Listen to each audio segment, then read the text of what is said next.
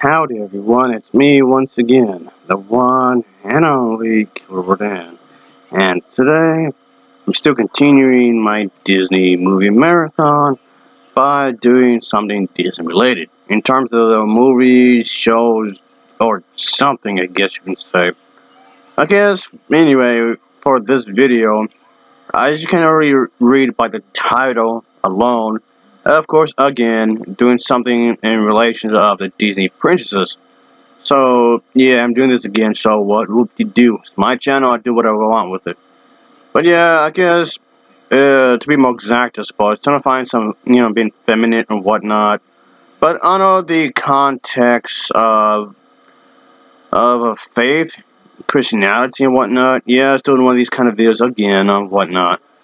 And personally speaking, I don't necessarily believe you have to be Christian to find femininity, but I know this was a topic it comes to a lot of people, especially during Halloween.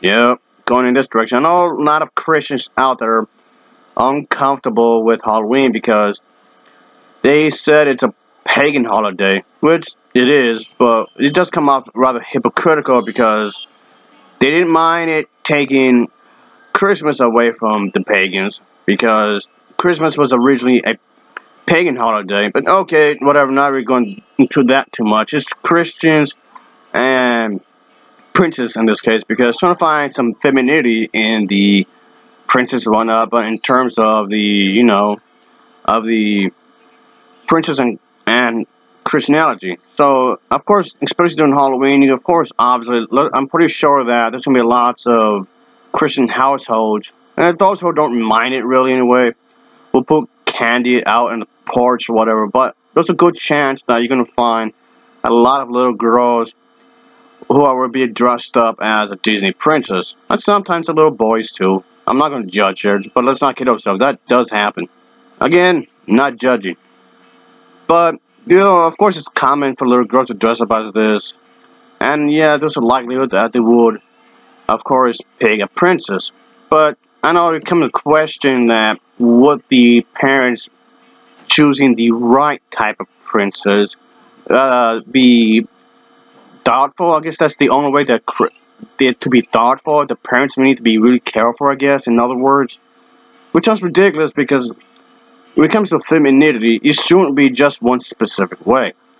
Being feminine should be in more ways than one.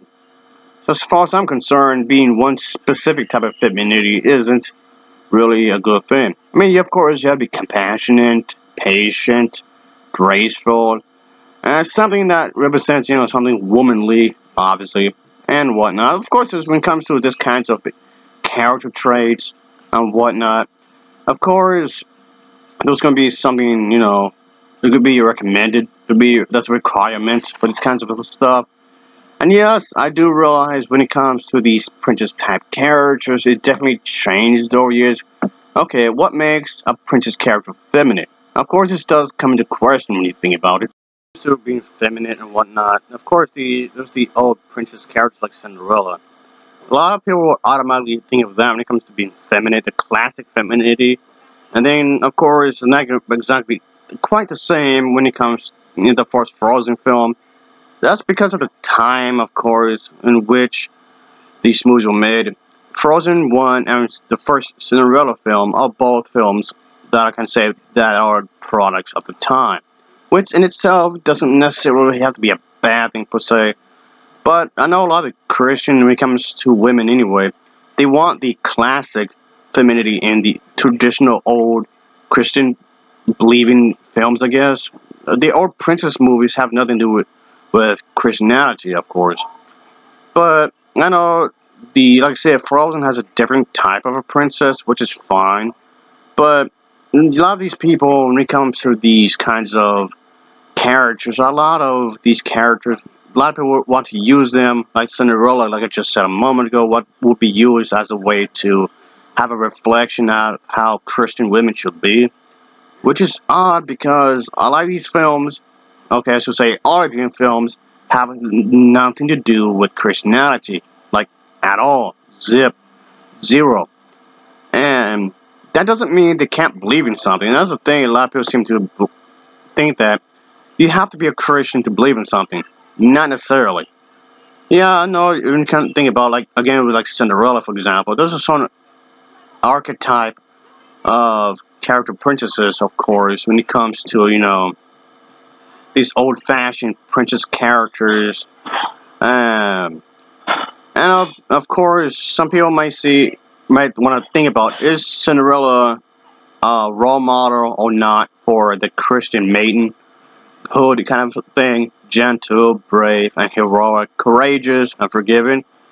Uh, I mean, okay, you can say Cinderella is forgiving and whatnot. Yeah, she's all those things, but one thing I was definitely disagree with, she doesn't have to be a Christian to be all that. Cinderella can still be, you know, brave, uh, you know, uh, uh, brave, courageous, forgiving, gentle, and all that. She's still going to be that. But she doesn't necessarily have to be Christian to be those things.